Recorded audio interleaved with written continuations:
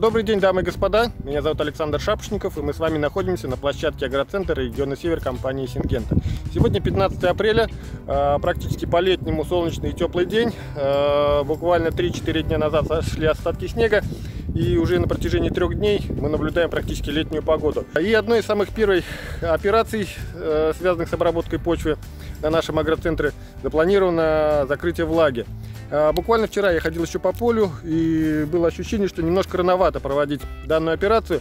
Кстати, один мой коллега, а, с которым мы часто спорили по поводу обработки почвы, а, сказал мне одну интересную фразу касаемо обработки почвы что утром еще рано, а в обед может быть поздно. Кстати, такую ситуацию я сейчас и наблюдаю. Обратите внимание, большая часть поля выглядит именно так, за редким исключением. Есть, конечно, отдельные участки э, с влажными, скажем так, проталинами. Но в основном э, поле готово к обработке.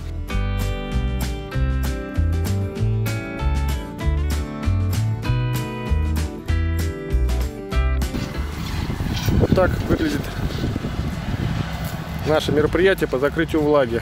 Пыли практически нет, хотя на отдельных участках появляется пыль свидетельство о том, что почва пересыхает. Но в целом считаю, что время для операции выбрано удачно. Потеря, потеря влаги будет минимальна. Итак, коллеги, мероприятие по закрытию влаги у нас практически завершено.